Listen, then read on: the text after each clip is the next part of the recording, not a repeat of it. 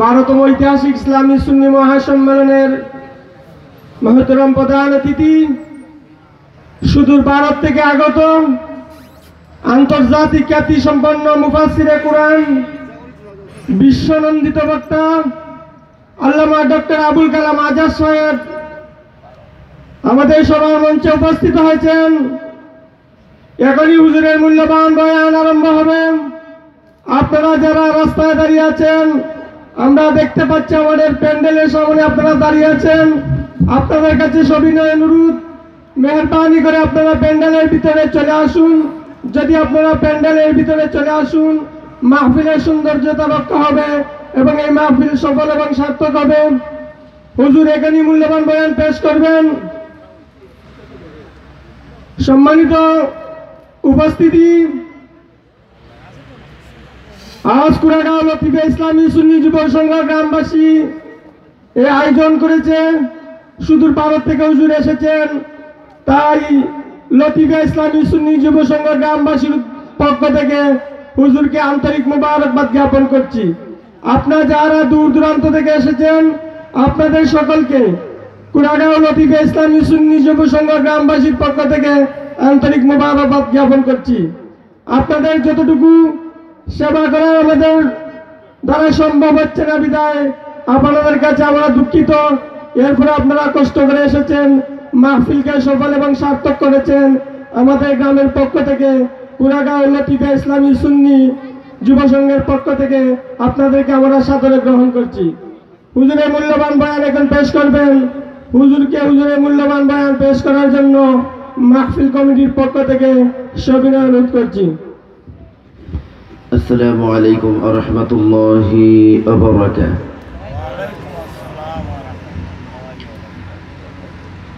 ভাইয়া, এতগুলা মানুষ সালামের জবাব শুনে মনে হচ্ছে আমি মনে হয় কোনো কবরবাসীদেরকে সালাম টান দিলাম আর কি জি ভাই। আমি এত ভক্তি বলে মোহাম্মদ সহকারে আপনাদেরকে সালাম দিলাম। আপনার আমাকে শুরুতেই যদি এভাবে তালাক দিয়ে বসেন, তাহলে আপনাদের সঙ্গে বন্ধুত্ব করব কীভাবে ভাই? একটু মহাব্বত উত্তর দেন না। আসসালাম আলাইকুম। যে সমস্ত ভাই ও বাবাজিরা পিছনে দাঁড়িয়ে আছেন,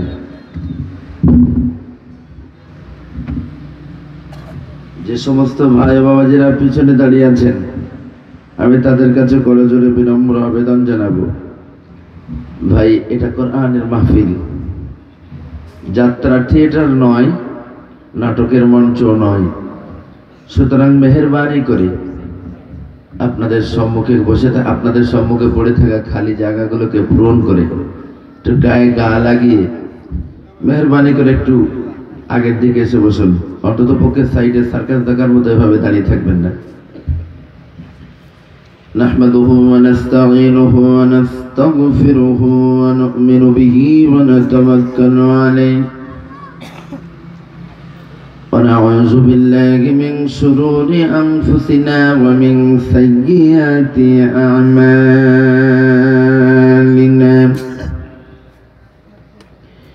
من يهده الله فلا مضل له ومن يضلله فلا هادي له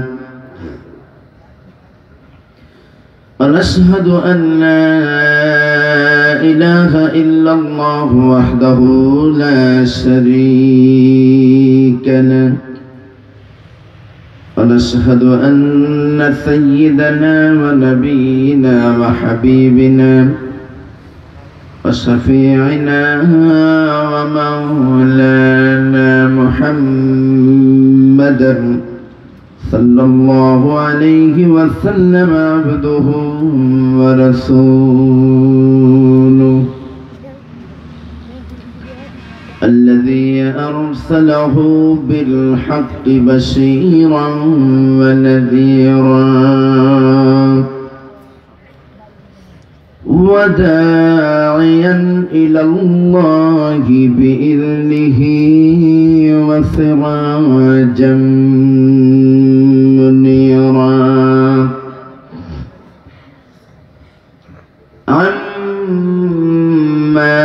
بعد فقد قال الله تعالى في كلامه المجيد وفرقان الحميد.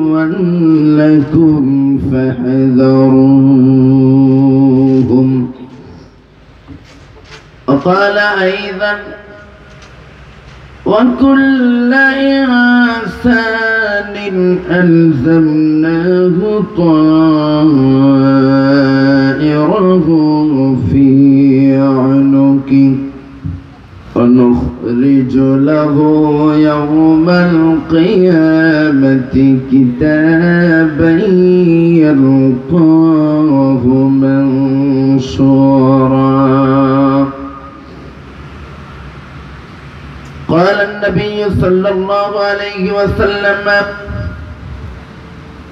كل مولود يولد على الفطرة فأبواه يهودانه أو ينصرانه أو يمجسانه كمثل البهيمة تنتج البهيمة. هل ترى فيها جدعا؟ وقال الله تعالى في شأن حبيبه مخبرا وآمرا. إن الله وملائكته يصلون على النبي. يا أيها الذين آمنوا صلوا عليه وسلموا.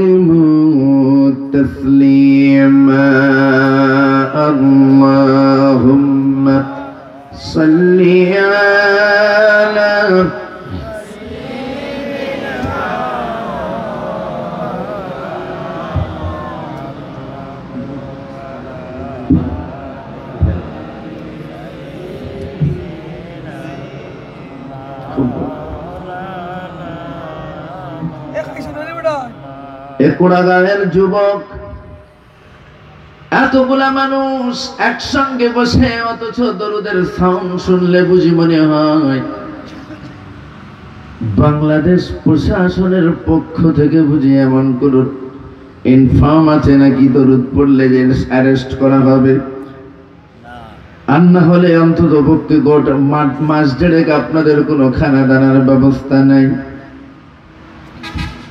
এতগুলা মানুষ আওয়াজ করেন অথচ একেবারে চি চি করে যেন দেড় মাস খানা দানা নাই সেই রকম আওয়াজ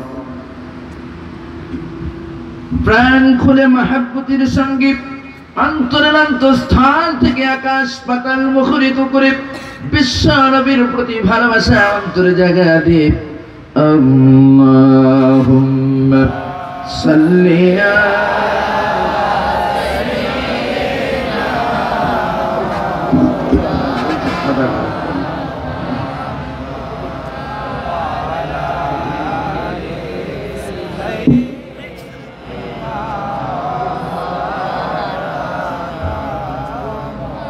চাচা হইয়া আবু জাহিল।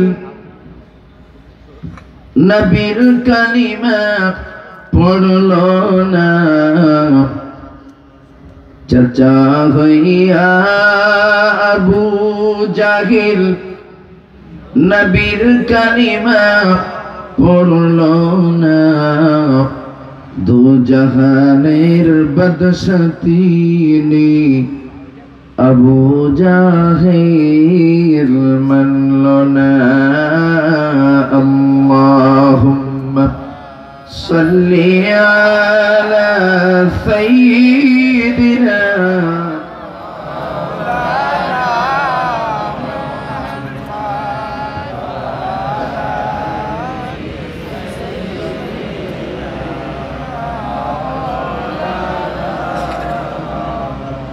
गसे चिल्ला नबी जी के मसे चिल्ला नबी जीर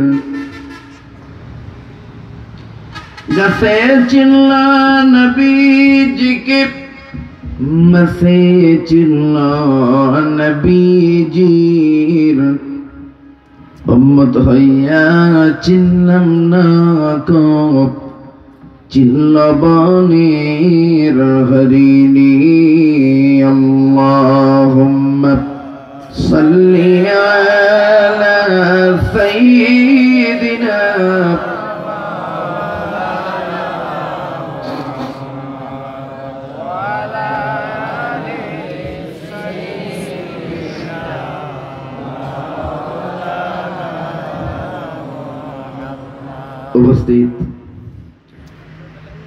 কুড়াগাঁও লতিফিয়া ইসলামিয়া সন্নি যুব সমাজ, সন্নি যুব সংঘ গ্রামবাসীর থেকে আয়োজিত এর বারোতম ঐতিহাসিক ইসলামী মহাসন্নি সমাবেশ পরিচালনা করি। শ্রদ্ধা ভাজন সভাপতি সাহেব, মাহফিল উপলক্ষে আগত অনাগত কর্তৃপক্ষের মনোভূত বিশেষ করে ইতিপূর্বে আপনাদের সম্মুখে তথ্যমূলক আলোচনা দিয়ে আপনাদের থেকে বিদায় নিয়েছেন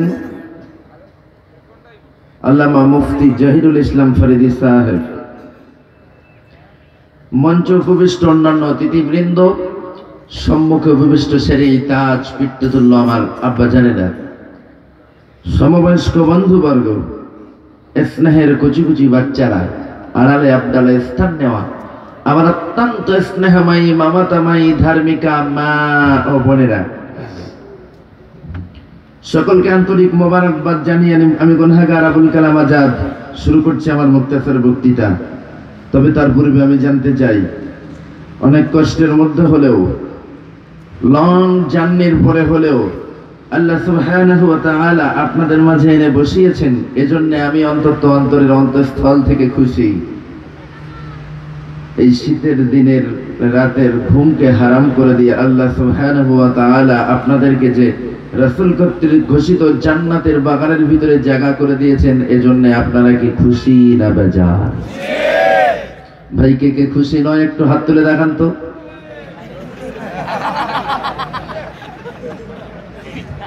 Don't mind that is my energetic nature এটা আমার ব্যক্তিগত স্বভাব। আমি একটু দেখে নিতে চাই। সম্মুখে বসে থাকা বন্ধুরা ওয়াজ শুনবার জন্য বসে আছেন নাকি আওয়াজ শুনতে বসে আছেন?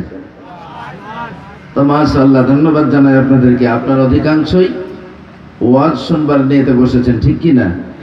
মূলত আমরা সকলেই খুশি, তাই কি না? আচ্ছা বলুন তো যে আল্লাহ আমাকে আপনাকে একত্রিত করে খুশি করেছেন। সেই আল্লাহকে খুশি করা আমার আপনার দায়িত্ব বা কর্তব্য আছে না নাই? এ কুড়াগাঁয়ের যুবকেরা একটু উচ্চ আওয়াজে ভালো আছে না নাই? তাহলে আসুন মনের সবটুকুন ভাব উজাড় করে দিয়ে সেই মনিবের দরবারে শুক্রিয়া কারিমাতে শুক্রিয়া একটু শুকর আদায় করে নেই। বলি সকলে, আলহামদুলিল্লাহ। সেই সাথে সাথে সরকারে দো আলম, আশরাফুল আম্বিয়া, সাইয়্যিদুল মুরসালিন, রাহমাতাল লিল আলামিন। নবী কুলের শিরোমণি মা আমিনার মায়ের মণি সাফাতির কান্ডারি, মদিনা মালা নবীর প্রতি অসংখ্য দুরুদ সালাম বলি সকলে সাল্লাল্লাহু আলাইহি ওয়াসাল্লাম। আমার বন্ধুগণ, কোরআনে কারিম থেকে ছোট্ট ছোট্ট দুটো আয়াতে কারিমে আমি আপনাদের সম্মুখে পাঠ করেছি। বিশ্ব নবীর অগণিত হাদিসের মধ্য থেকে ক্ষুদ্র একটা হাদিসের নবী আমি আপনাদের সম্মুখে পাঠ করেছি। কোরআনের কারিমের আয়াতে কারিমা এবং বিশ্ব নবীর হাদিসকে সম্মুখে রেখে জাস্ট দুটার চেয়ে কথা আলোচনা করে আপনাদের থেকে বিদায় নেব। কারণ ঘড়ির কাঁটা এখন সম্পূর্ণ বারোটা। কিন্তু সৌভাগ্য মাহফিলের অবস্থা এখনও বারোটা হয়নি, ঠিক না? এজন্য আপনাদেরকে ধন্যবাদ জানাই। এই শীতের দিনেও আপনারা যে একেবারে সরাসরি বারোটা পর্যন্ত এখনও বসে আছেন, এর জন্য আপনাদেরকে আন্তরিকভাবে মোবারকবাদ জানাই। তবে আমি আপনাদেরকে বেশি সময় বিরক্ত করব, এমন চাহিদা আমার নাই। জাস্ট সামান্য দু চারটে কথা আলোচনা করে আপনাদের থেকে বিদায় নেব। তার পূর্বে আল্লাহ আমাদেরকে জান্নাতের বাগানের ভিতরে জায়গা করে দিয়েছেন। নিশ্চিত আমরা যারা মোমেন, এই জান্নাতের বাগান ছেড়ে বেরিয়ে যাব না। সকলে বলুন, ইনশাআল্লাহ। যদি আমি এই মাহফিল ছেড়ে বেরিয়ে যাই, জান্নাতের বাগান ছেড়ে বেরিয়ে যাই, তাহলে কোরআনের ভাষা অনুযায়ী আপনি কিন্তু মোমেন নয়, বেগায়ের মোমেন। কারণ আল্লাহ রাব্বুল আলামিন নিজে ঘোষণা করেছেন, ইন্নাল্লাযীনা নিশ্চয় যারা ঈমান এনেছেন। আমানু ঈমান এনেছেন। এবং নেক আমল করতে অভ্যস্ত হয়েছেন। নেক কাজ করতে অভ্যস্ত হয়েছেন। জান্নাতুল আমি আল্লাহ তাদের জন্য জান্নাতুল ফিরদাউস রেখেছি বলুন এ দ্বারা বোঝা গেল কি জান্নাতুল ফিরদাউস কাদের জন্য? মোমেনের জন্য না মুনাফিকের জন্য? সকলে আওয়াজ দিয়ে বলুন, মোমেনের জন্য না মুনাফিকের জন্য? নিঃসন্দেহে আল্লাহ রাব্বুল আলামিন আমাদেরকে জান্নাতের বাগানের ভিতরে কবুল করেছেন। যদি এই জান্নাতের বাগান ছেড়ে চলে যাই, তাহলে কিন্তু বেগায়ের মোমেন, অর্থাৎ মোমেনের অপোজিট যা মোমেনের বিপরীত যা আছে সেটাই। এটা আমি আর মুখে ভাষা বলতে পারছি না। অ্যাট ফার্স্ট কোরআনে কারীম থেকে যে আয়াতে কারীম আমি আপনাদের সম্মুখে পাঠ করেছি, সূরার নাম সূরা তাবাবুন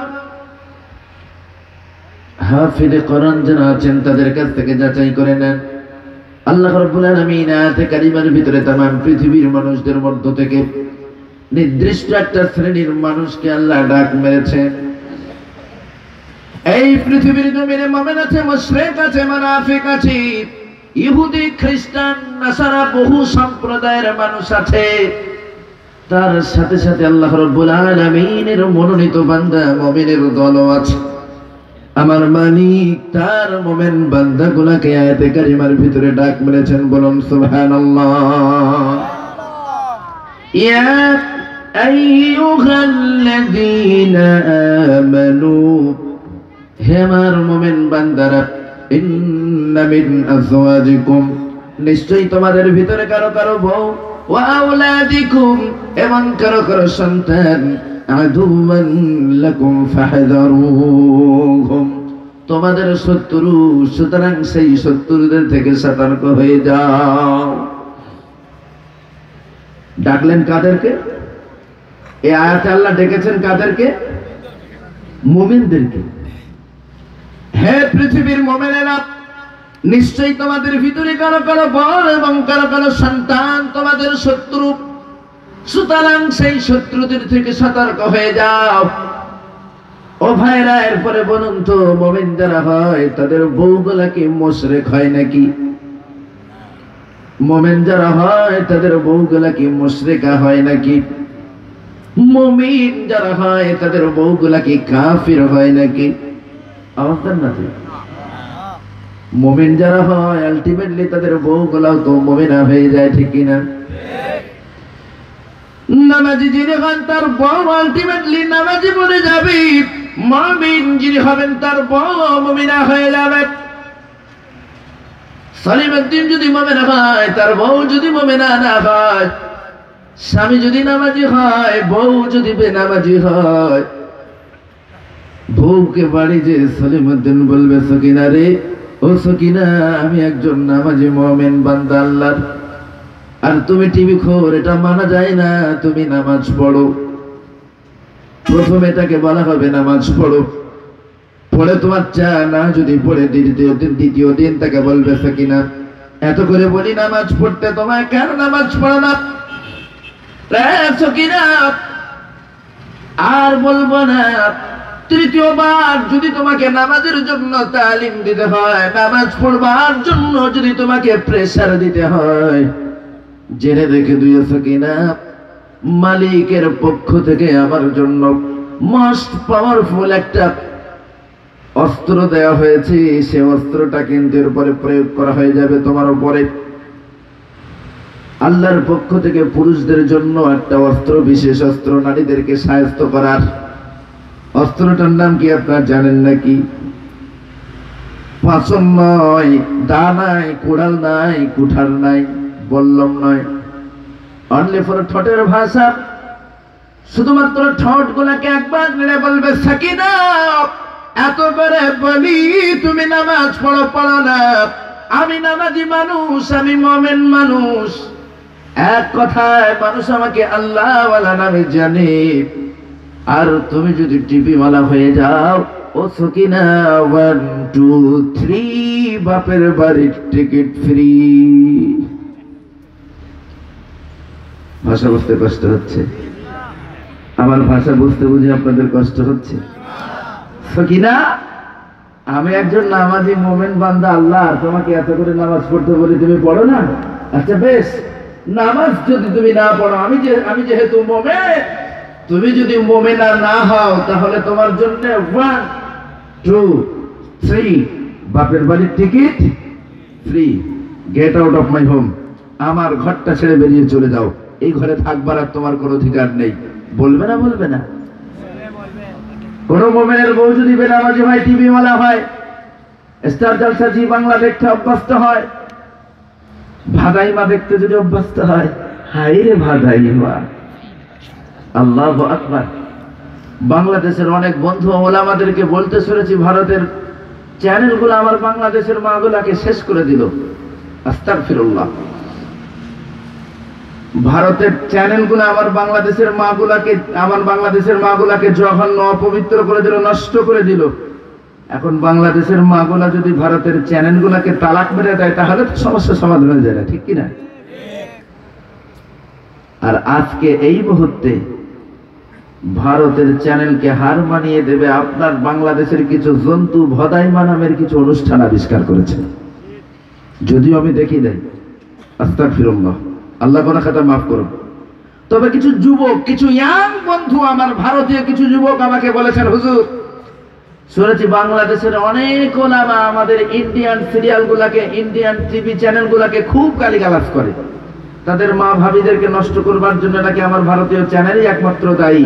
আপনি বাংলাদেশে যে বলবেন সে ওলামাগুলার বর্তমান পিরিয়ডে আপনার বাংলাদেশের কিছু জন্তু ভাদাইমা নামে ভাদাইমা নামের যে সিরিয়ালগুলো বার করছেন, ওইগুলো কি দেখেছেন? দেখলে তো বমি হয়ে যাবে।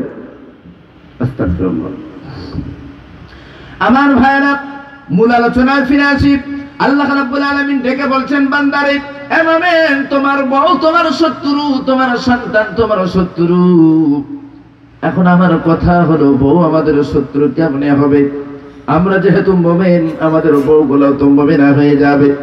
আমরা যদি আল্লাহওয়ালা হই আমরা যদি খোদাওয়ালা হই, আমরা যদি কোরআনওয়ালা হই আলটিমেটলি আমাদের সন্তান গুলাও কোরআনওয়ালা হয়ে যাবে, ঠিক কিনা? কিন্তু আল্লাহ বলছে, না, ও মুমিন, তোমার বউ শত্রু, তোমার সন্তান শত্রু ব্যাপারটা কি? একে একে সাতখানা তাফসির দেখলাম। সব থেকে বেশি পরিচিত তফসিরে জালালাইনের সঙ্গে, যেহেতু স্টুডেন্ট লাইফ থেকে তফসিরে জালালাইন পড়ি, তারপরে নামালাম তফসিরে ইবনে কাসির, তারপরে মাআরিফুল কোরআন, তারপরে নামালাম তফসিরে আনোয়ারুল কোরআন, তারপরে নামালাম ফি জিলালিল কোরআন। এমন করে একে একে সাত সাত খানা তফসির দেখলাম। প্রত্যেকটা মুফাসসিরেরই বক্তব্য হলো, এই শত্রুতাটা দুনিয়াভি শত্রুতা নয়, বরং আখিরাতের শত্রুতা। বাহ্যিক দৃষ্টিতে আমরা দেখতে পাবো না। এই শত্রুতাটা বাহ্যিক দৃষ্টিতে আমরা দেখতে পাবো না। আসলে এটা আখিরাতের শত্রুতা। কেমন? কোরআনে কারিমের আল্লাহ রাব্বুল আলামিন বলেন وكل إنسان ألزمناه طائره في عنقه ونخرج له يوم القيامة كتابا يلقاه منشورا পারা নাম্বার পনেরো পৃষ্ঠা নাম্বার দুই সুরার নাম ইসরাইল। মিডিলের দিকে দেখে নেন। হাফিজি কোরআন যারা আছেন তাদেরকে দেখে ভেরিফাইং করে নেন। আল্লাহ রাব্বুল আলামিন তার কালামে পাকের ভিতরে ঘোষণা করছেন ওয়া কুল্লা ইনসান। নিশ্চয়ই প্রত্যেকটা ইনসানের আলজামনাহু তাইরাহু ফি উনুকি। ঘাড়ে, গর্দানে, কণ্ঠনালীর কিনারি। গ্রীবা দেশে আমি মালিকের পক্ষ থেকে সুন্দর একটা করে সিসি ক্যামেরা লাগানো আছে। তার সাথে সাথে মাস্ট পাওয়ারফুল একটা করে মেমরি কার্ড লাগানো। বান্দারে, সারাটা জিন্দগিতে যা যা করেছ, যতবার আমি মালিক, আমার সিজদা দিয়েছ বান্দা, ওই সিসি ক্যামেরার মাধ্যমে সেটাকে রেকর্ড করা হয়েছে মেমোরির ভিতরে সেটাকে ডাউনলোড করে রাখা হয়েছে। গোলাম যতবার আমার নাফরমানি করেছ, সেগুলাও ধরা হয়েছে। যতবার জিনা করেছ, ব্যভিচার করেছ, সুদ খেয়েছো, ঘুষ খেয়েছো, পরচর্চা করেছ, পরনিন্দা করেছ, আমার বান্দাদের কি কষ্ট দিয়েছ, গালি দিয়েছ, সবগুলাকে আমি আল্লাহ ওই বিশেষ প্রকৃতির সিসি ক্যামেরার মাধ্যম দিয়ে রেকর্ড করে মেমোরির ভিতরে রেখে দিয়েছি। এই একেবারে কণ্ঠনালীর কিনারে।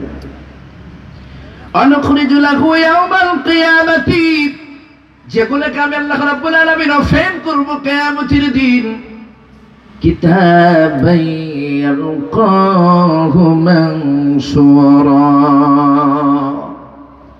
একেবারে কিতাব আকারে তোমার সম্মুখে তুলে দেওয়া হবে বান্দা। তুমি নিজেই পড়বা তোমার আমল নামা। ডেট বাই ডেট কোন তারিখে কতটা গোনা করেছ বান্দা? কতবার আমি মালিক আমার সেজদা দিয়েছ? কতবার আমার জিকির করেছ? সবগুলো হুবহু সেদিন তোমার সম্মুখে তুলে ধরা হবে। মুফাসসির বান বলছেন আমার ঘরের সাকিনা আমার ঘরের রহিমা, করিমা, কিয়ামতের দিন আদালতে আখিরাতি মালিকের দরবারে যখন হাতে আমল নামা পাবে, দেখতে পাবে তারা কোন দিন কি গোনা করেছে, কতটা পরিমাণে করেছে। হুবহু যখন আমল নামায় সব তুলে ধরা হবে, আমাদের ঘরের সাকিনা, রহিমা, হালিমারা, কেউ বা দেখতে পাবে তার একদিনে আমল নামায় পঁয়ষট্টি হাজার গোনা। কেউ বা দেখতে পাবে একদিনে পঞ্চান্ন হাজার কবিরা গোনা সেদিনে দেখে বলবে, মালিক, চব্বিশ ঘন্টায় হয়তো একদিন তার ভিতরে সাত ঘণ্টা ঘুমিয়ে থাকতাম। পাঁচ ঘণ্টা ধরে খাওয়া দাওয়া ইস্তেঞ্জা হাজত এবং মুখে মেকআপ মেকআপ লাগাতে ব্যস্ত থাকতাম। সাত পাঁচ বারো ঘণ্টা হয়ে গেল। আর অবশিষ্ট বারো ঘণ্টার ভিতরে পঞ্চান্ন হাজার কবিরা গণা আমি করেছি। মানি না মালিক, সম্ভবত আপনার ফারিস্তারা ভুলভাল লিখে ফেলেছে। এতটা গোনা আমি কোনোদিনও করি নাই। আবার আল্লাহ বলবেন, বান্দি, তুই কি ভুলে গেলি? দু হাজার উনিশ সালের পহেলা জানুয়ারি। আমি আল্লাহ তোর সৌন্দর্যকে বাড়িয়ে দেওয়ার কারণে তুই আবার তার উপরে মেকআপ লাগিয়ে আরও বাড়িয়েছিস বন্দি। অতঃপর অর্ধনগ্ন অবস্থায় তুই পিকনিক গার্ডেনে চলে গিয়েছিস পিকনিক করবার জন্যে। অর্ধনগ্ন অবস্থায় তুই কি জানো না, ওই পিকনিক গার্ডেনে হাজির ছিল পঞ্চান্ন হাজার তরুণ যুবক।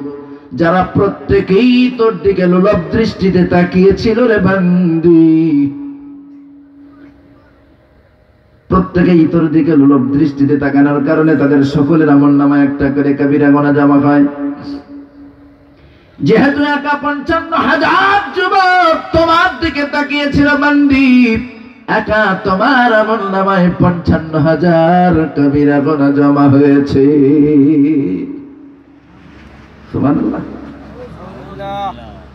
একদিনে পঞ্চান্ন হাজার গোনা কামিয়াবি গোনা করে কামিয়াবি হয়েছে, সুবহানাল্লাহ।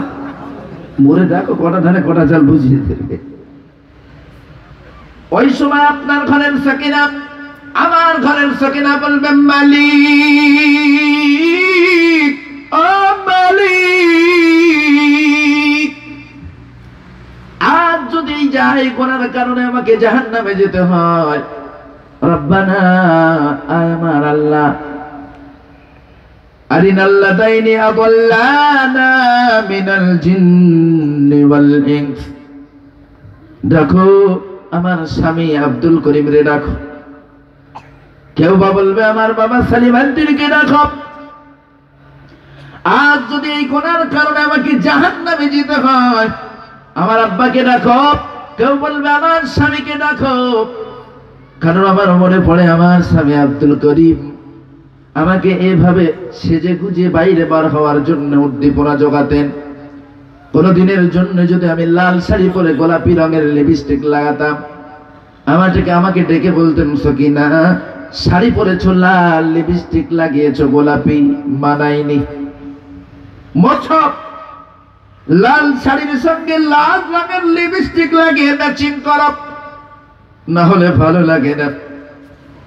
এভাবে করে বউরে সাজিয়ে সমাজে বার করে, যে যুবকেরা তারা শুনে রেখে দাও। বউ সেদিন দেখে বলবে, মালিক, আমার স্বামীকে দেখো আর যদি আমাকে জাহান নামে যেতে হয় না জাল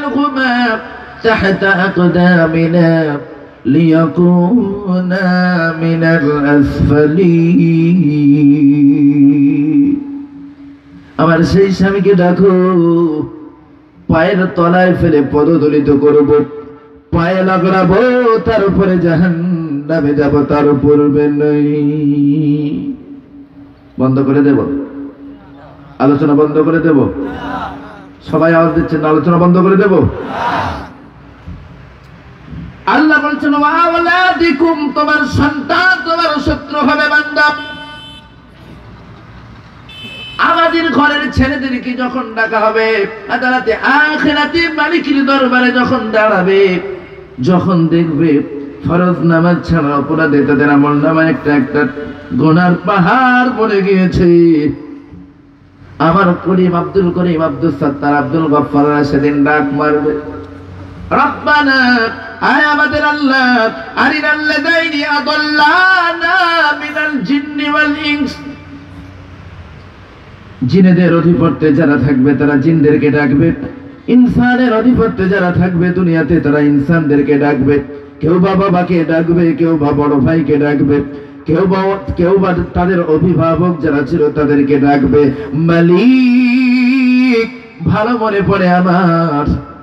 একবার অঙ্কে একটু কম পেয়েছিলাম, যার কারণে আব্বু আমার সঙ্গে এক সপ্তাহ কথা বন্ধ করে দিয়েছিলেন। ইংলিশের মার্ক একটু কম হয়েছিল বলি। আমার আব্বা আমাকে বলেছিল? কোলাঙ্গা সন্তান?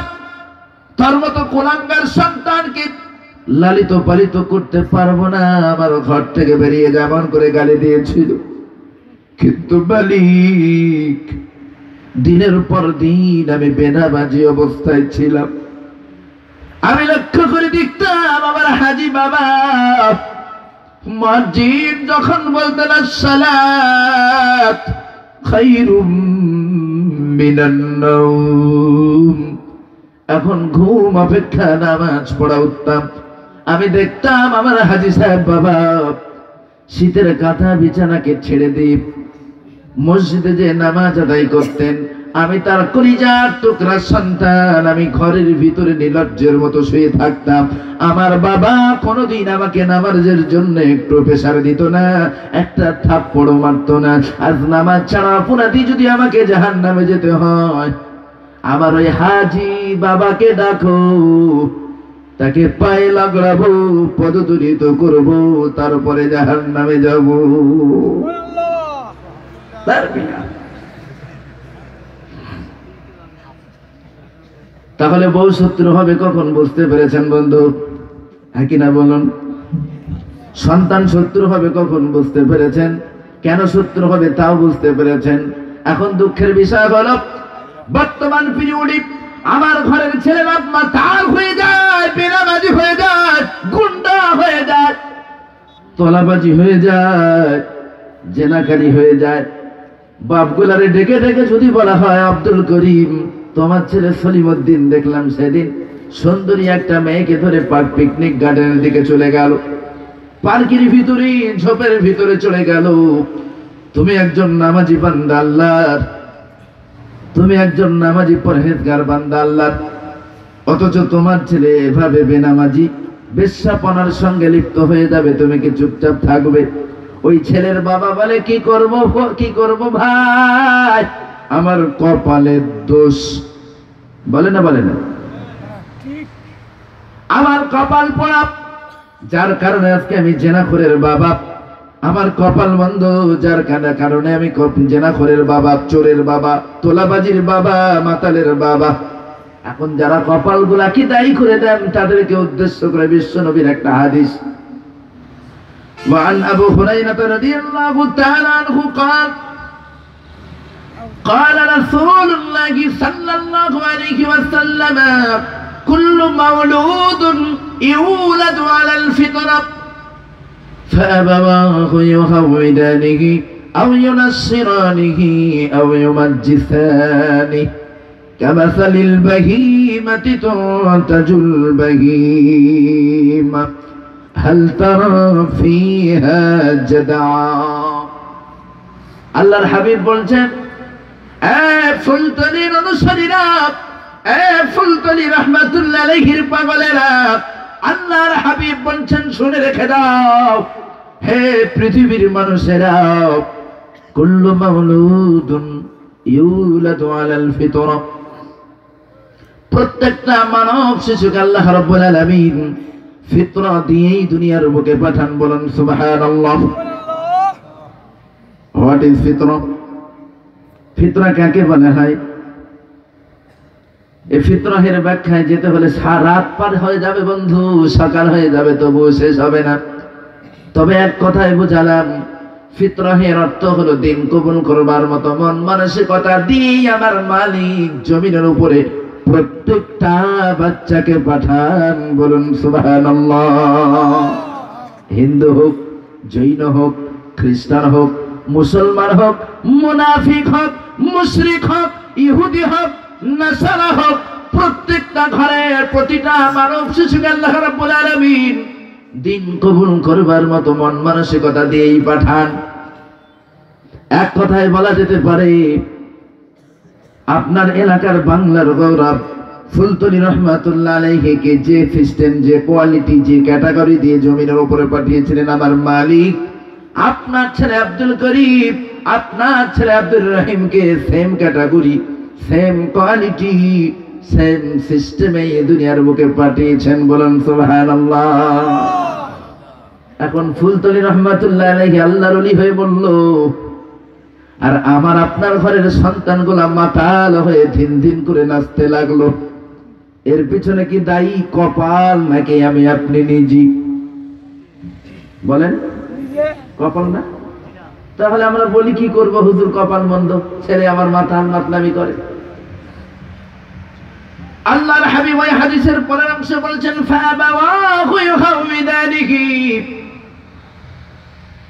কোন ছেলে মাতার হয়ে মায়ের পেটে আসে না, কোন ছেলে জিনাখর হয়ে দুনিয়ার বুকে আসে না, কোন ছেলে চোর হয়ে মুশরিক হয়ে দুনিয়ার বুকে আসেন না। আল্লাহ পাক ফিতর দিয়ে তাকে দুনিয়ার বুকে পাঠান। তারপর তার মা বাবা তাকে ইহুদি বানায়। কারও বাবা বা তার সন্তানকে নাসর বানাই আমি আমার জিসানিহি কারও বাবা বা তার সন্তানকে অগ্নি পূজারক বানাই কেমাসালিল বাহিমাতি তন্তাজুল বাহিমা। هل ترى فيها جدعا যেমন নাকি কোন চতুষ্পদ জন্তু অপূর্ণাঙ্গ একটা বাচ্চা ডেলিভারি দেয় না আপনি কখনো দেখবেন না আপনার এলাকার কোনো গরু কিংবা ছাগল কান এখনো সম্পূর্ণ তৈরি হয়নি এমত অবস্থায় একটা বাচ্চাকে হঠাৎ করে ডেলিভারি দিয়ে দিয়েছে একটা পা এখনও অপূর্ণাঙ্গ আছে, পরিপূর্ণভাবে তৈরি হয়নি। এমন একটা বাচ্চা আপনার এলাকার কোনো ছাগল ডেলিভারি দিয়েছে, এমনটি আপনি কোনো দিনের জন্য খুঁজে পাবেন না। নিকৃষ্ট জন্তুকে আল্লাহ পূর্ণাঙ্গ বাচ্চা যদি দান করেন তুমি সাত মখলুকাতের ভিতরে আশরাফ সাত মখলুকাতের ভিতরে শ্রেষ্ঠ মখলুক। তোমাকে আল্লাহ অপূর্ণাঙ্গ বাচ্চা দেবে, এটা তো কল্পনাও করা যায় না। সুতরাং এক কথাই বুঝতে হবে, আমাদের ছেলেরা যারা মাতাল হয়ে যায়, আমাদের ছেলেরা যারা মাতখার হয়ে যায়, বিনাবাজি হয়ে যায়, আমাদের ছেলেদের ভিতরে যারা বেঈমান হয়ে যায় ইমান হারা হয়ে যায়। এর জন্য দায়ী কিন্তু কপাল নয় বন্ধু। সম্পূর্ণ দায়ী আমরা আপনারা মা বাবারা কোনো সন্দেহ নেই। ভাইরা আমার এখন আবার আমরা এতটাই মডার্ন এতটাই ডিজিটাল এতটাই আন্টা মডার্ন হয়ে গেছে। আমরা আবার আইয়ামে জাহেলিয়াতকে গালাগালি করতে ব্যস্ত থাকি। রাসূল এসেছিলেন জাহেলিয়াতের যুগে। আর আমরা হলাম আধুনিক যুগের মানুষ। আধুনিকতার শিহরে পৌঁছানোর পরে আমরা জাহেলিয়াতেরকে হার বানিয়ে দিই।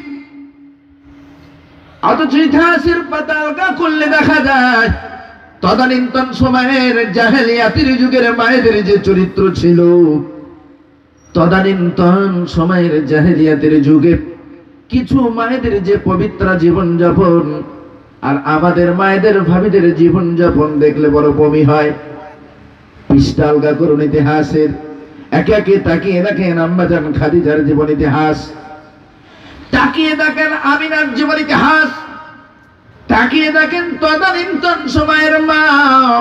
আম্মা জান হযরত আয়েশা সিদ্দিকা রাদিয়াল্লাহু তাআলা আনহার ইতিহাস। অন্তরে শিহরণ জাগবে রে মা। স্টার জলসা জি বাংলার কথা আর কখনো স্মরণে আসবে না। ছোট্ট মেয়ে আমি না আমাদের মতো ডিজিটাল যুগের মেয়ে নয়, আমাদের মতো ডিজিটাল যুগের ভাবি নয়। তখনকার দিনের মা আইয়ামে জাহেলিয়াতের যুগের মা আমিনা। ছোট্ট আমিনা, মা তাকে কেমন ভাবে তালিম দিয়ে রেখেছিলেন একটুখানি দেখুন বন্ধু। রাস্তা দিয়ে হেঁটে হেঁটে যাচ্ছেন আমিনা। হঠাৎ করে পথিমধ্যে একটা স্বর্ণ মুদ্রা তার চোখে পড়ে। মূল্যবান, সম্পদ একটা স্বর্ণ মুদ্রা। যখন আমিনার চক্ষু গোচর করলাম সেটাকে অ্যাভয়েড করে আমি না কিছু দূর চলে গেল। কারণ মা তাকে নিষেধ করে রেখেছে, পরের মাল ঘরে আনবি না। আমি না পথ চলতে চলতে স্বর্ণ মুদ্রাটা দেখবার পরে সেটাকে অ্যাভয়েড করে চলে গেল। আবার কিছু দূরে যাওয়ার পরে ওই আমিনার ছোট্ট হৃদয়ে একটা প্রশ্ন জাগলো হারে আমি দামি সম্পদ, মূল্যবান সম্পদ, এই স্বর্ণ মুদ্রা রাস্তায় ফেলে চলে গেলাম বটে। কিন্তু আমার পিছনে শতাধিক মানুষ আছে, যাদের মধ্যে কেউ না কেউ এটা কুড়িয়ে নিয়ে বাড়িতে চলে যাবে। পক্ষান্তরে এই অর্থের মালিক যিনি, এই সম্পদটা যার তিনি এ থেকে বঞ্চিত হয়ে যাবে সুতরাং না। এভাবে ফেলে রাখা যাবে না। বরং এটাকে কুড়িয়ে নিয়ে বাড়িতে চলে যায়। জননীর কাছে যে প্রশ্ন করি, মা, যার সম্পদ এটা, তার হাতে কীভাবে পৌঁছে দেবো? আপনি আমাকে সহযোগিতা করুন ছোট্ট মেয়ে আমি না তার ফিকিরটা কেমন একটুখানি দেখুন। মা নিষেধ করেছেন যে পরের মাল কুড়িয়ে ঘরে আনবি না। তারপরেও আবার সেই ছোট্ট আমিনা ভাবলেন আহারে এত দামি সম্পদ। রাস্তার উপরে যদি ফেলে রেখে চলে যাই, তাহলে আমার পিছনে যারা আসছেন নিশ্চয়ই কেউ না কেউ এটা কুড়িয়ে নিয়ে বাড়িতে চলে যাবে। পক্ষান্তরে এটার মালিক যে, তিনি এটা থেকে বঞ্চিত হয়ে যাবেন। এমন মানুষে এমন চিন্তা ভাবনায় আমিনা সেটাকে কুড়িয়ে নিলেন। বাড়িতে নিয়ে যে দেখেন, জননী, আ, জননী আমি জানি আপনি আমাকে বকাবকি করবেন। তারপরেও আমি এটাকে কুড়িয়ে নিয়ে এসেছি, মা। তবে এটাকে আত্মসার আত্মসাত করবার নিয়েতে নয়। জননী, আমি প্রথমে এটাকে অ্যাভয়েড করে চলে এসেছিলাম বা কিছু দূর আসবার পরে মনে মনে ভাবলাম আমি এটাকে কুড়ালাম না বটে, কিন্তু আমার পিছনে যারা আসছে, তারা কেউ না কেউ ওটা কুড়িয়ে নিয়ে চলে যাবে। পক্ষান্তরে এই অর্থের মালিক যিনি, তিনি এ থেকে বঞ্চিত হয়ে যাবে। এই জন্য আমি এটাকে কুড়িয়ে নিয়ে এসেছি, মা। বলুন বলুন, কীভাবে এটা যার অর্থ তার হাতে পৌঁছে দিতে পারি, বলুন। একটু মহাব্বত করে হবে না সোহান আল্লাহ আর আমাদের ঘরের আমিনা হালিমারা? চার বান্ধবী একসঙ্গে খেলাধুলা করছেন। হঠাৎ করে এক বান্ধবীর কানের খুলে নিচে পড়ে গিয়েছে, পিছনে রহিমা দেখতে পেয়ে ছুটে মুটে যে বেশ কলে কৌশলে সেটাকে পায়ের সাহায্যে আস্তে আস্তে প্রথমে পায়ের দ্বারা আঙুল দিয়ে ধরে পিছন দিক থেকে হাতে নিলে, এমন জায়গায় গোপন করবে ভাই। সারাটা শরীর তন্ন তন্ন করে খুঁজে পাবে না। বাড়িতে এসে মাকে বলবে, মা মা, অমুক জায়গায় এটা করে পেয়েছে মা মা কেন জানে না, মা। আমি দিয়ে বাড়িতে চলে এসেছি।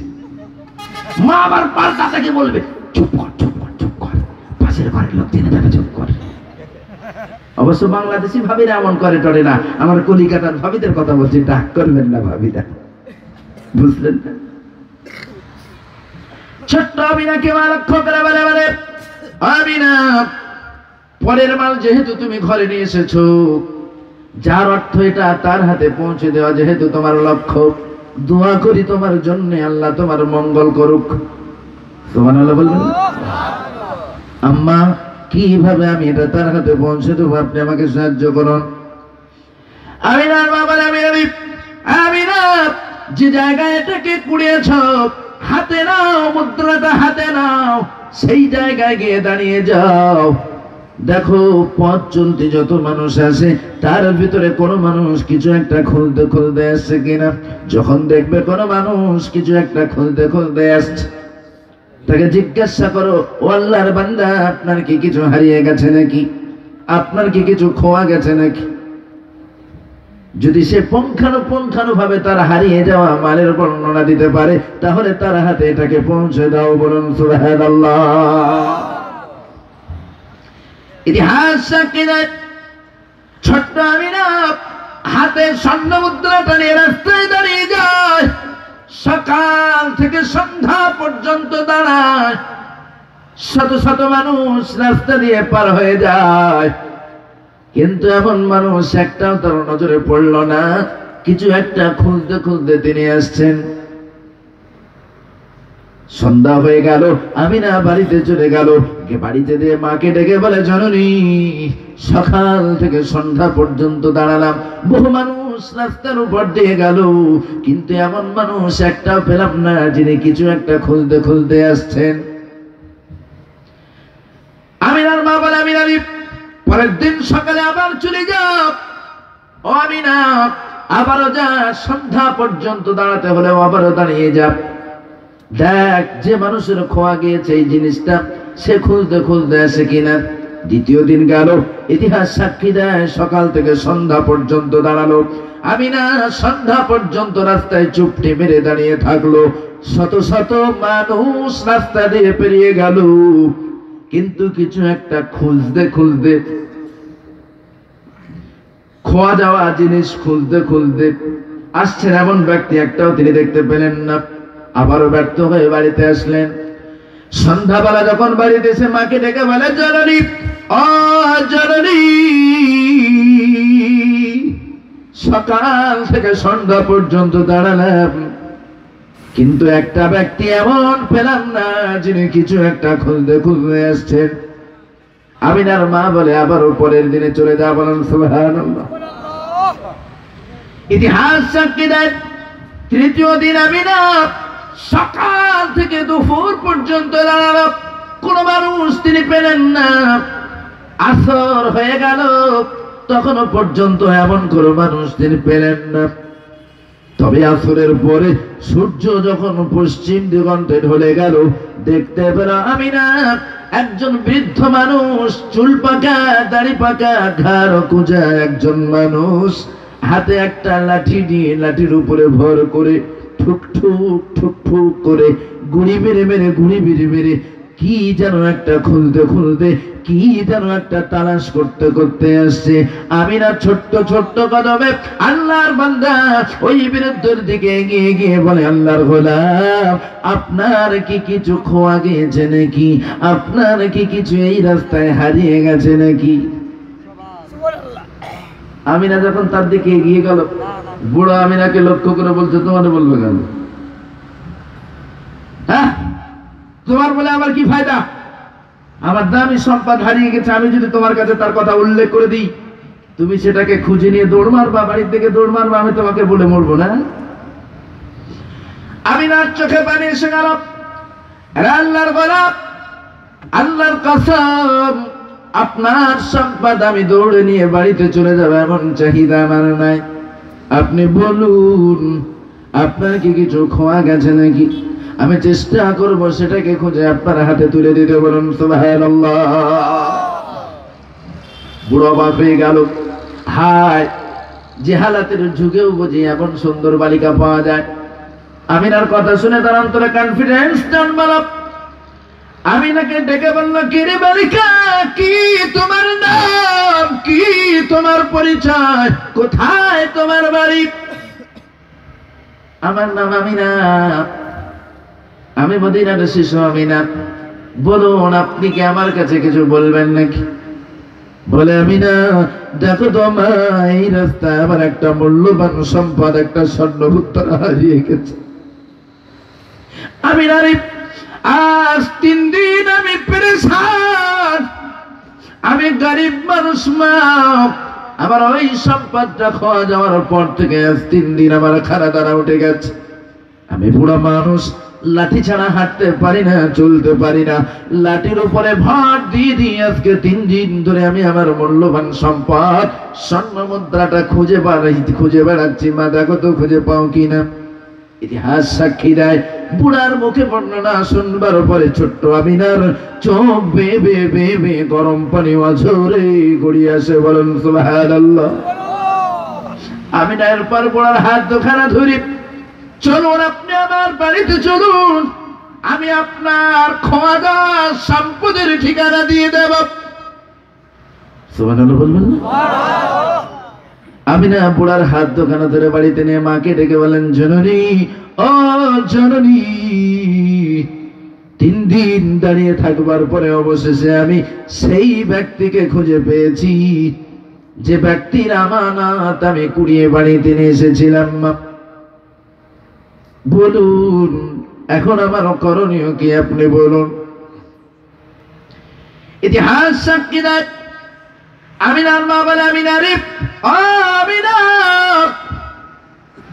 যেহেতু এই বৃদ্ধ মানুষ তিন দিন তোমার জন্য প্রেসার হয়েছে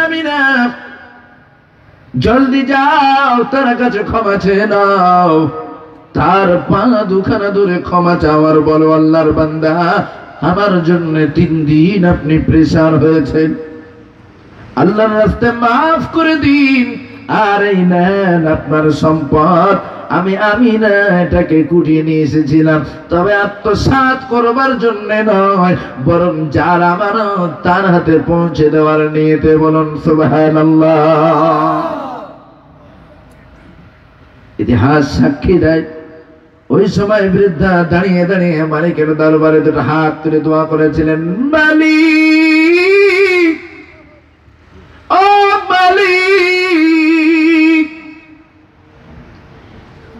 জীবনে বহু বালিকা দেখেছি, কিন্তু আমি নার মতো এত পবিত্র বালিকা আমার নজরে একটাও পড়িনি।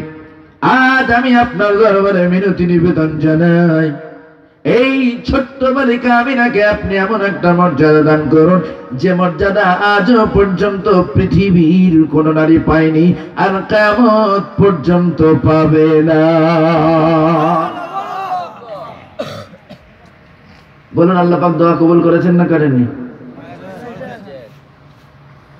আমিনা যে মর্যাদা পেয়েছেন ওই মর্যাদা বিশ্বের কোন নারী আর পাবেন কিনা? একটাও নয়। কোনদিনের জন্য নয়। আজও পর্যন্ত পাইনি আগামীতে আর পাবে? কি বলেন পাবেন? আপনার গোলাম মোহাম্মদ কাবন কাদিয়ানি বলেছিলেন না আমি নবী? আমি শেষ নবী বলেছিলেন না?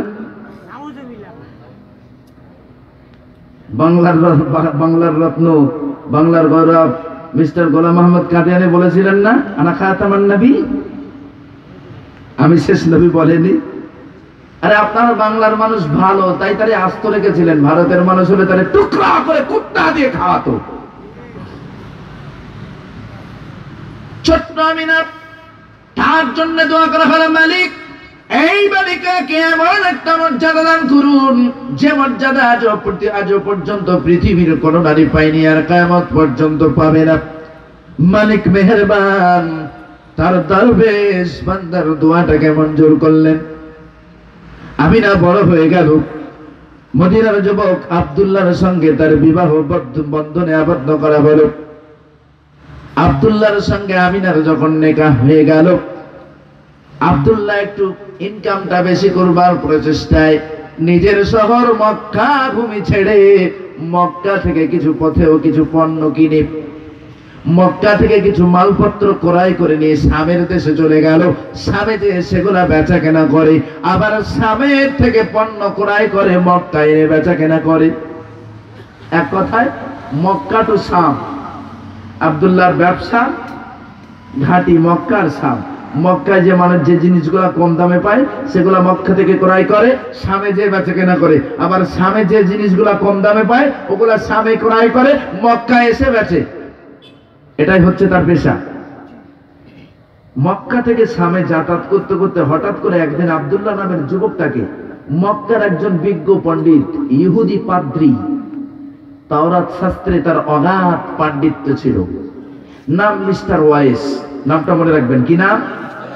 ওয়েস ওয়েস নামের ব্যক্তি আব্দুল্লাহর মুখ দর্শন করে আব্দুল্লাহর কপালের দিকে এক ঝলক তাকিয়ে বলছিলেন, কি রে যুবক, কে তুমি? তোমার নাম কি? আমি তোমার ভিতরে বিশ্ব নবীর নবুয়তের নিদর্শন দেখতে পাই বলেন কি তোমার নাম? কোথায় তোমার বাড়ি? কি তোমার পরিচয়? আমি যে তোমার কপালে বিশ্ব নবীর নজর- নিদর্শন দেখতে পাই আমার নাম আব্দুল্লাহ, আমার বাড়ি মক্কার কাবা বাইতুল্লাহর কিনারায়। যখনই কাবা শব্দটা আব্দুল্লাহ উল্লেখ করলেন আলটিমেটলি ওয়াইসের অন্তরে শিহরণ জাগলো। আমি তো তারাতের ভিতরে পড়েছি। বিশ্বনবী মোহাম্মদুর রাসূলুল্লাহ মক্কার কাবা গৃহ সংলগ্ন আসবেন বলুন, সুবহানাল্লাহ। আলটিমেটলি বিশ্বনবীর সম্পর্কে মহাব্বত জন্মে গেল। যেহেতু বিশ্বনবীর বাবার বাবাকে সে দেখতে পেয়েছেন, বন্ধুত্বর প্রস্তাব দিলেন ফ্রেন্ডশিপ করবার জন্য তাকে আহ্বান জানালেন। আব্দুল্লাহ রে, তুমি কি আমার বন্ধু হবে নাকি? বলছে, আমি মক্কার মানুষ, আপনি সামের একজন বিজ্ঞ মুরব্বী, আমার সঙ্গে বন্ধুত্ব করে আপনার লাভটা কি? বলছে, তুমি আসো না স্বামী, বলছে, আস। আব্দুল্লাহ রে, আজ আমি তোমাকে বন্ধুত্বর প্রস্তাব দিলাম। তুমি কি মানবা? অ্যাকসেপ্ট করবা আব্দুল্লাহ। আব্দুল্লাহ বলে হায় রে এই সামনে আমার আত্মীয় পরিজন, বন্ধু বান্ধব, আত্মীয় পরিজন কেউ নাই। আমি ব্যবসা সূত্রে সামে আসি, বেচা কেনা করে আবারও ক্ষুধার্ত অবস্থায় বাড়িতে চলে যাই। আর সামনে যদি একজন বন্ধু পাই অন্তত পক্ষে তার বাড়িতে একটু পানাহার করে তারপরে বাড়ি যেতে পারব। দ্যাট ইজ গোল্ডেন অপরচুনিটি এটা তো সম্পূর্ণ সুবর্ণ সুযোগ। হাতছাড়া করে লাভ নাই। আমি মেনে নিলাম। আব্দুল্লাহ রে আমি তোমাকে বললাম, স্বামীর কাজ মিটে যাওয়ার পরে প্রতিবার আমার বাড়িতে আসবে বাড়িতে আসবে আব্দুল্লাহ। আমার বাড়িতে খাওয়া দাওয়া আমার বাড়িতে আয়সারাম তারপরে তুমি দেশে ফিরবে। আমি তোমাকে বলে দিলাম, কোনো পয়সা লাগবে না, টাকা লাগবে না জাস্ট ফর বন্ধুত্ব বজায় রাখবার জন্য। অন্তত পক্ষে আমার বাড়িতে একটু করে পদধূলি দিও বলুন সুবহানাল্লাহ। ইতিহাস সাক্ষী দেয়, আব্দুল্লাহ যতবার যায়, বন্ধু ওয়েসের বাড়ির থেকে ঘুরে আসেন। এরপরে আবারও আব্দুল্লাহর একবার মক্কা থেকে সামে যাওয়ার সময় এসেছেন। কাফেলা রেডি?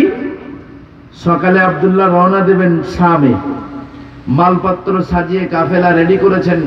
সকাল হলে একেবারে ভোর ভোরে সামের উদ্দেশ্যে তিনি রওনা দেবেন। এমন এক রাত্রে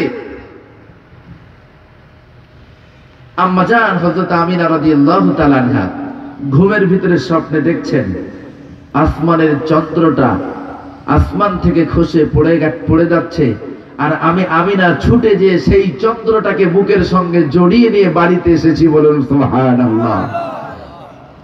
আমি না অস্থির আয়, এমন স্বপ্ন পৃথিবীর কোন নারী দেখেছেন আমার জানা নাই। ঘুম। আব্দুল্লাহকে ডেকে বলল, প্রাণের স্বামী গত রাত্রে আমার একটা স্বপ্ন দেখেছি। আমার মনে হয় তাম পৃথিবীর কোন নারী এই স্বপ্ন দেখেছে আমার জানা নাই। কি স্বপ্ন দেখেছ আমি না? স্বামী রে, গত রাত্রে আমি স্বপ্নে দেখেছি, আসমানের চন্দ্র যেন আসমান থেকে খসে পড়ে গেল, আর আমি আমি না ছুটে গিয়ে সেই চন্দ্রকে বুকের সঙ্গে জড়িয়ে নিয়ে বাড়িতে এসেছি। প্রাণের স্বামী আমি শুনেছি আপনার একজন বিজ্ঞ বন্ধু আছেন, একজন জ্ঞানী বন্ধু আছেন। প্লিজ আপনি একটু যান, আমার স্বপ্নের তাবিজ তার কাছ থেকে করে নিয়ে আসুন। আমার এই স্বপ্নের ব্যাখ্যা বিশ্লেষণ কি হবে তার কাছ থেকে করে আনুন। আব্দুল্লাহ বললেন, ঠিক আছে, আমি তো আজই যাব স্বামী। আমার বন্ধু ইহুদি পাদ্রী তাওরাত শাস্ত্রের মহামান্য পণ্ডিত।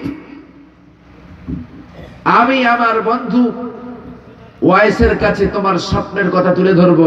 নিশ্চয় এর ব্যাখ্যা, বিশ্লেষণ কি, এর তা আবির কি হবে তিনি আমাকে বলবেন। চলে গেলেন। বন্ধুরে বন্ধুরে এক আশ্চর্যজনক স্বপ্ন দেখেছে আমার বিবি। গত রাত্রি আমার আমিনা এমন একটা স্বপ্ন দেখেছেন যে স্বপ্ন আজও পর্যন্ত পৃথিবীর কোন নারী দেখেছেন আমার জানা নাই। ওদিকে ওয়াইস আরও একটা জিনিস লক্ষ্য করে দেখলেন। আব্দুল্লাহর কাপালি বিশ্বনবের নুরের তাজাল্লির যে নিদর্শন তিনি আগের বার পেয়েছিলেন, আজ আর তিনি আব্দুল্লাহর কপালে সেটা দেখছেন না। এমন অবস্থায় আব্দুল্লাহ বলে রে আব্দুল্লাহ আব্দুল্লাহ বলে রে ওয়াইস এ মহামান্য পাদ্রী গত রাত্রে আমার বিবি স্বপ্নে দেখেছেন, আসমানের চন্দ্র যেন খসে পড়ে গিয়েছে, আর আমার বিবি আমি না ছুটে গিয়ে চন্দ্রটা বুকের সঙ্গে জড়িয়ে নিয়ে বাড়িতে চলে এসেছে। বলুন বলুন, আমার বিবির স্বপ্নের ব্যাখ্যা কি বলুন? একবার আব্দুল্লাহ রে আব্দুল্লাহ! আমি নিদর্শন পেয়েছি যেদিন তোমাকে প্রথম দেখেছিলাম রে আব্দুল্লাহ। আজ আমি তোমার বিবির দেখে হান্ড্রেড পার্সেন্ট শিওর হয়ে গেলাম। যখন আমি তোমাকে প্রথম দেখি, তোমার কপালে আমি বিশ্বনবীর নূরের তাজাল্লির অনুভূতি দেখতে পেয়েছি। তোমাকে যেদিন প্রথম দেখি, সেদিন আমি তোমার কপালে বিশ্বনবীর নূরের তাজাল্লি দেখেছি। আজ দেখছি সেটা আর তোমার কপালে নাই। ওদিকে আবার তোমার বিবি স্বপ্নে দেখেছেন আসমানের তন চন্দ্র খসে পড়েছে। সেই চন্দ্রটা বুকে করে নিয়ে বাড়িতে এসেছে। এর অর্থ একমাত্র আর কিছু নয়। এর অর্থ হলো তোমার বিবি আমিনা, বিশ্ব নবীর মা, আর তুমি আব্দুল্লাহ, বিশ্ব নবীর বাবা। খুশিতে আব্দুল্লাহর অন্তরটা বাগবাগ। আনন্দাশ্রু তার চোখ দিয়ে গড়িতে আসলো। চোখ দিয়ে পানি ঝরা দেখে আব্দুল্লাহকে লক্ষ্য করে ওয়েসের পরে বলে, রে আব্দুল্লাহ, আমি তোমাকে বলে দিই, শুনে রেখে দাও।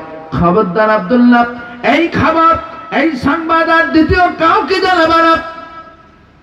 কারণ আমি নিজ জাতিতে ইহুদি। আমার সন্তানেরা, আমার জাতির লোকেরা তোমার ওই সন্তান মোহাম্মদুর শত্রু হবে। তোমার ওই শিশু বালক মোহাম্মদকে হত্যা করবার চক্রান্ত করবে। সাবধান আব্দুল্লাহ, খবরদার খবরদার। আরে, কথাটা কারও কাছে ডিসকাস করবা না। তুমি জানো, আর আমি জানি, আর আমাদের আল্লাহ জানা আর কাউকে জানাবা না। এমনকি বউয়ের সঙ্গেও বলবা না। আব্দুল্লাহ বললেন, ঠিক আছে। সেবারের মতো সাম থেকে তিনি বাড়ির উদ্দেশ্যে ফিরলেন, মক্কায় ফিরলেন। ওদিকে মক্কায় আমি না বসে বসে স্বামীর স্বামীর আগমনের প্রতীক্ষায় দিন গুনছেন কখন আসবেন প্রাণের স্বামী আব্দুল্লাহ। আমার স্বপ্নের ব্যাখ্যা নেব, তার কাছ থেকে স্বপ্নের তাবির জানব। দীর্ঘ প্রতীক্ষার পরে আব্দুল্লাহর আগমন দেখি আমি তার হৃদয়ে যেন আনন্দ উৎসব শুরু হয়ে গেল। আমি তার হৃদয়ে যেন দাও দাও করে আনন্দ স্রোত বয়ে গেল। আব্দুল্লাহ রে দেখে বলে, রে আব্দুল্লাহ, প্রতিবার তুমি সফর করো সামে। একটা বারের জন্য তোমার প্রতীক্ষায় দাঁড়িয়ে থাকবার কথা মনে হয় না। কিন্তু আজকে যখন তুমি আসো না, বারবার আমি স্বামীর রাস্তা পানি তাকিয়ে তাকিয়ে দেখি। বলো বলো, প্রাণের স্বামী আব্দুল্লাহ, বলো, আমার স্বপ্নের তাৎপর্য কি, ব্যাখ্যা কি একটুখানি বলো। আব্দুল্লাহ বলে, আমি না, ওটা কোনো খবরই নাই। দেয়ার ইজ নো ম্যাটার ওটা কোনো খবরই নাই। ছেড়ে দাও। আমার স্বপ্ন বহুবার বহু নারী ইতিপূর্বে দেখেছে, ওটা নিয়ে মাথা ব্যথার কোনো কারণ নাই। আমি আমার আব্দুল্লাহ রে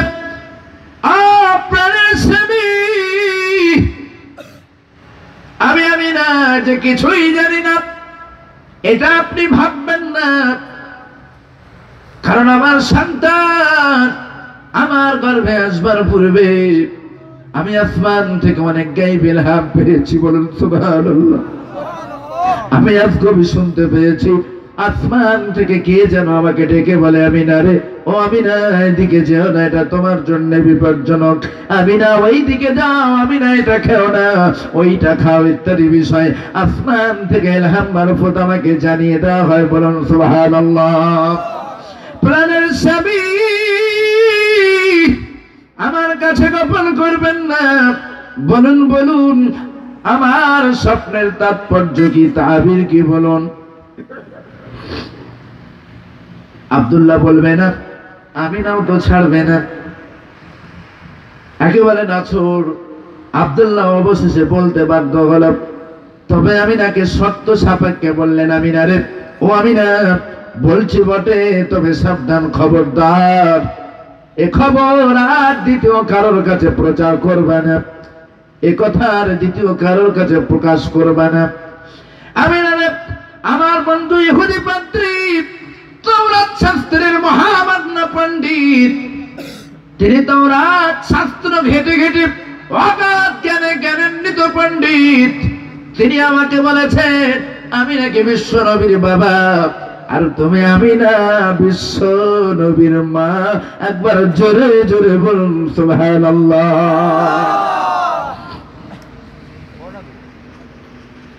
আলটিমেটলি আমিনার চোখে আনন্দস্ত্র গড়িয়ে আসলো। চোখের পানিতে বুক ভেসে গেল আমিনার। ঠিক আছে, আপনি নিষেধ করলেন, আমি কাউকে বলব না। আমিনার ছোট্ট ঘরটা একেবারে যেন আলোয় আলোকিত হয়ে গেল। আব্দুল্লাহ এবং আমিনার সুখের সন্তান, সুখের সংসার খুব সুন্দরভাবে চলতে লাগল। আব্দুল্লাহ আরও কয়েকটা বিষয় দেখতে পেল। আমিনা যখন রাস্তা দিয়ে হেঁটে হেঁটে যায়, জমিনের উপর দিয়ে যখন আমিনা হেঁটে হেঁটে যায়। আসমানের একদল মেঘ মারা, আমিনার মাথার উপরে ছায়া করে করে করে করে যায়। আব্দুল্লাহ ফলো করে হ্যাঁ যে অবাক দৃশ্য আমার বিবি আমিনা যেদিকে যায়, এই মেঘমালাও দেখি সেই দিকে সেই দিকে যায়। আব্দুল্লাহ একটা আশ্চর্যজনক বিষয় লক্ষ্য করলেন। মক্কা মদিনার কুয়াগুলো অনেকটাই ডিপে পানি আছে। কম্পালসারি পঁচিশ তিরিশ ফুট গভীরে পানি। এক কথায় মক্কা মদিনার কোন কুয়া থেকে যদি আপনার পানি তুলবার প্রয়োজন হয়, একমাত্র জমজম কূপ ব্যতিক্রম। জমজম কূপের একেবারে কিনারায় পানি। আর বাকি যত কুয়া আছে মক্কা, মদিনায়, প্রত্যেকটা কুয়া থেকে যদি আপনার পানি নিতে হয় কম্পালসারি পঁচিশ হাত রশি নামাতে হবে। কুড়ি পঁচিশ হাত দড়ি ছাড়া পানি পাবেন না। এমন জায়গা আমি না। কুয়া থেকে পানি তুলবার জন্য কোন রশি নাই না।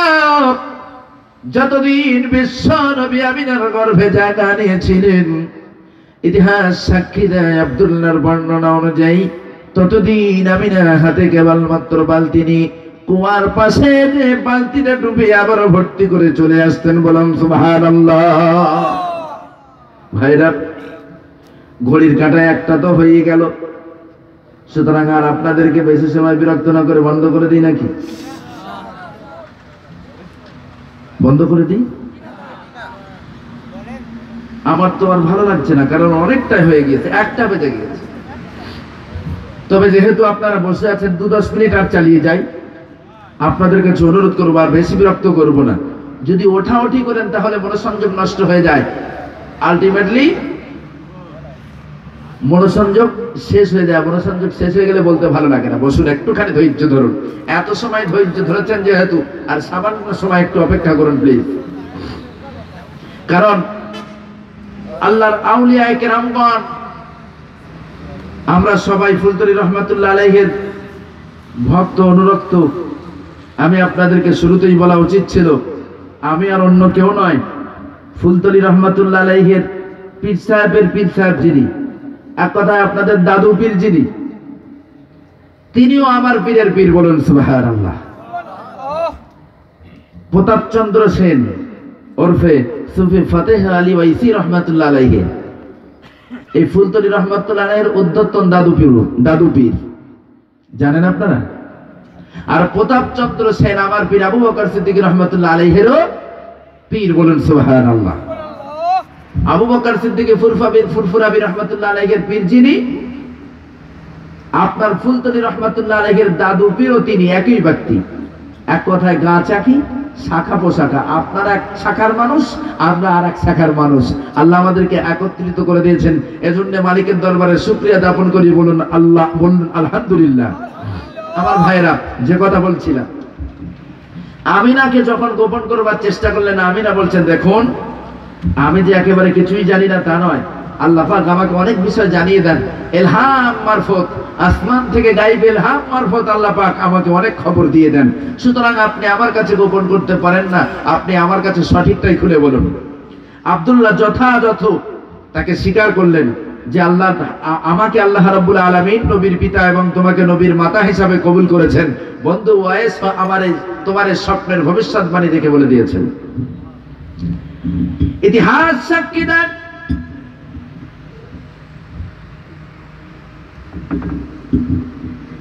আবার আব্দুল্লাহ সামের উদ্দেশ্যে রওনা দেয়।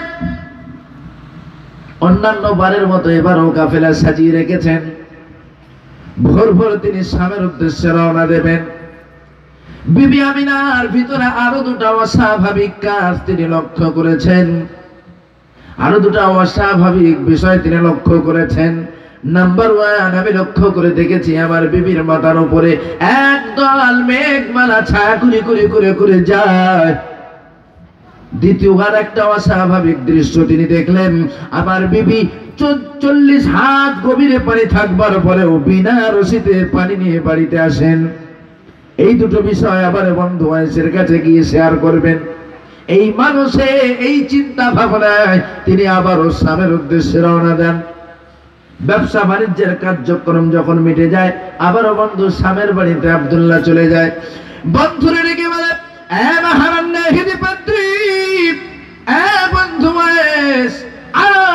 অস্বাভাবিক দৃশ্য আমি আমার আমিনের ভিতরে দেখেছি। কি অস্বাভাবিক দৃশ্য তুমি বন্ধু আমি দেখেছি আমার বিবি রাস্তার উপরে যেদিকে যায় জমিনের উপরে যখন যেদিকে যায়, যেখানে খুশি যায়, আসমানের একদল মেঘমালা আমার বিবি আমিনার মাথার উপরে ছায়া করে করে যায়, বলুন আরও একটা দৃশ্য দেখ। আমার বিবি গর্ভে সন্তান ধারণের পর থেকে নিয়ে অর্ধবধি। পানি তুলবার নিয়েতে যখন কোনো কুয়ার কিনারে যায় দড়ি লাগে না, রশি লাগে না। উইদাউট দড়ি উইদাউট রশিতে আমার বিবি আমি না হাতে কেবল একটা বালতি নিয়ে কুয়ার ভিতর থেকে পানি তুলে নিয়ে চলে আসেন। আমি জানতে চাই, এর ব্যাখ্যা কি, বিশ্লেষণ কি? ইহুদি পাদ্রি ওয়াইস আব্দুল্লাহ রে রেখে বলেন, আব্দুল্লাহ খুব শান্তিদ আব্দুল্লাহ। মোবারক আব্দুল্লাহ, ও আব্দুল্লাহ, আমি নিশ্চিত, আজকে নিশ্চিত। আমি হান্ড্রেড পার্সেন্ট শিওর হয়ে গেলাম। আমি তাওরাতের ভিতরে এটাও পেয়েছি। নবীর জননী হবেন যিনি মোহাম্মদ রসুল্লাহর মা হবেন যিনি। তিনি জমিনের উপরে যখন হেঁটে হেঁটে যাবেন, আসমানের একদল মেঘমালা তাকে সম্মান জানাবেন, বলেন সুবহানাল্লাহ। সুতরাং আব্দুল্লাহ আর কোনো সন্দেহ নাই। আমি নিশ্চিত তোমাকে বলে দিলাম, আব্দুল্লাহ। আব্দুল্লাহ, তুমি হবে আখেরি জামানার নবীর বাবা, আর তোমার বিবি হবে আখেরি জামানার নবীর মা। বলুন, সুবহানাল্লাহ। আনন্দ আত্মাহার আব্দুল্লাহ। একেবারে নিশ্চিত হয়ে গেল, নিশ্চিত জেনে গেল, আমি নবীর পিতা। আব্দুল্লাহ আনন্দাস্ত্র চোখ দিয়ে গড়াতে গড়াতে বাড়ি উদ্দেশ্য রওনা দিলেন। কিন্তু মালিকের কি রহস্য মালিকের কি হিকমত? মালিকের চিন্তা ফেকের কি মালিকই জানেন? আল্লাহ রাব্বুল আলামিন যখন দেখলেন আব্দুল্লাহ পরিপূর্ণভাবে জেনে গেল, আমার সন্তান মোহাম্মদুর রাসূলুল্লাহ অর্থাৎ আখেরি জামানার পয়গম্বর হবে। ওই আব্দুল্লাহ সাম থেকে ফিরে এলো। রোগে পড়ল আব্দুল্লাহ। হঠাৎ করে তিনি মারা গেল। দুনিয়া থেকে বিদায় নিল। নবীর পিতা নিশ্চিত জানবার পরে আব্দুল্লাহ। আর দুনিয়ার বুকে থাকতে পারলেন না। সময় হয়ে গেল, মালিকের অর্ডার হয়ে গেল। আব্দুল্লাহ দুনিয়া থেকে বিদায় নিয়ে নিল। শিশু রবি দুনিয়ার বুকে আসবার পূর্বে বাবাকে হারিয়ে দিল, বলুন, ইন্না লিল্লাহি